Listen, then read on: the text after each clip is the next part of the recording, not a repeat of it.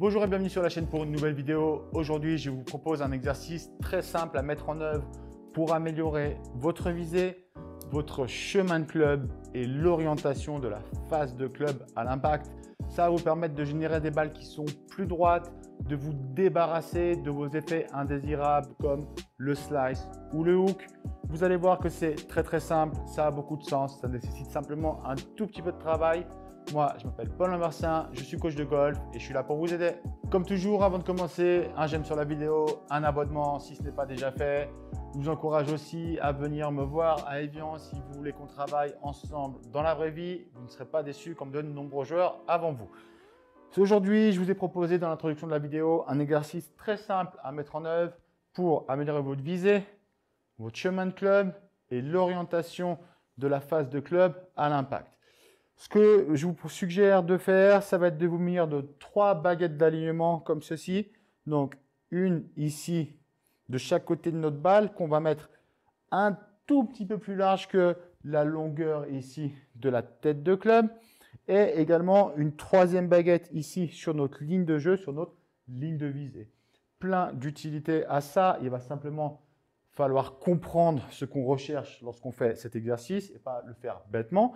Déjà, première utilité, c'est viser, s'assurer de viser correctement. Je trouve ça plus pertinent de mettre une baguette comme ça qui va pointer dans le prolongement de la phase de club que de mettre une baguette comme ceci avec mes pieds. Parce qu'au golf, je ne vise pas avec mes pieds, je vise avec l'orientation de la phase de club. Donc, première utilité, ici, comme ça, orienter la phase de club sur ma cible, sur mon objectif. Ça, ça va également vous permettre d'avoir une bonne perception de où la balle doit sortir. La balle, elle ne doit pas sortir le long de mes pieds, d'accord? La balle, elle doit sortir ici, dans cette ligne. Donc, ça va vous permettre vraiment de comprendre comment vous devez ramener la phase de club ici à l'impact. Pas comme ça, pas comme ça, mais comme ceci. Et surtout, la deuxième partie de notre exercice, ce sont les deux baguettes qui sont là et qui vont vous permettre de corriger votre chemin de club. Alors, qu'est-ce qu'on entend par là? Bah, Si par exemple, vous souffrez de slice, vous arrivez de l'extérieur, donc de ce côté-là, vers l'intérieur de ce qu'on appelle la ligne de jeu. Hein. Ça, c'est ma ligne de jeu les slicers arrivent de l'extérieur vers l'intérieur de la ligne de jeu. Et si vous swingez comme ça, comme je vois parfois avec le trackman lorsque j'enchaîne, je vois des gens qui swingent 10 degrés comme ceci vers la gauche, voire même parfois 15 degrés comme ça vers la gauche, donc extérieur-intérieur, bah, vous allez soit taper la baguette qui est là, ou alors taper la baguette qui est là, hein, comme ceci, voire même les deux. À l'inverse, les gens qui font du hook, des balles qui tournent de fort de droite à gauche, c'est des gens qui reviennent trop de l'intérieur, donc dans l'autre sens, c'est-à-dire comme ceci, par là-bas, et ils viennent lifter, brosser la balle. C'est la même chose. Soit vous allez taper la baguette qui est avant, soit vous allez taper comme ceci la baguette qui est après. Donc finalement, faire des swings avec ces deux baguettes, ça va vous entraîner à avoir un chemin de club, une, direction du swing en fait, si vous voulez, hein.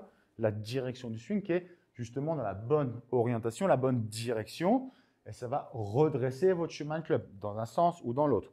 Je vous encourage à faire d'abord l'exercice sans la balle, déjà en coup d'essai, pour vous assurer que vous arrivez à faire des swings. Donc vous vous placez ici, vous faites des swings et vous vous assurez de toucher ni la baguette qui est là, ni la baguette qui est là. Ensuite, une fois que vous pensez avoir trouvé la solution, une fois que vous êtes chaud, faites-le avec la balle. Ce que je vois d'ailleurs, et c'est très intéressant, je vois des joueurs qui arrivent à faire cet exercice quand il n'y a pas de balle, et dès qu'on met une balle, boum, on touche les baguettes. Donc ça veut dire que soit vous avez oublié comment faire, mais ça j'en doute, soit l'intention a changé, d'accord? On veut faire une belle balle et on n'est plus sur l'exercice à passer comme ceci entre les deux baguettes.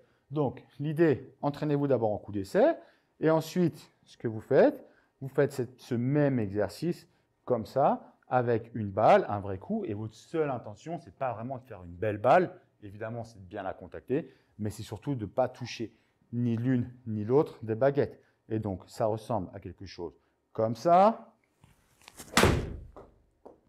Ma balle, elle était bien contactée. Elle est sortie en ligne ici, dans ma ligne de jeu que j'avais prévu, que j'avais anticipé. Et j'ai touché ni la baguette ni l'autre, ce qui indique que mon chemin de club, l'orientation de mon swing était bon. Et cette balle, normalement, elle est plus ou moins droite. Voilà, c'est tout pour aujourd'hui. Comme d'habitude, les conseils que je vous suggère, il ne suffit pas de les regarder, il faut aussi les appliquer. Moi, je vous souhaite un bon entraînement et je vous dis à bientôt pour de prochains conseils.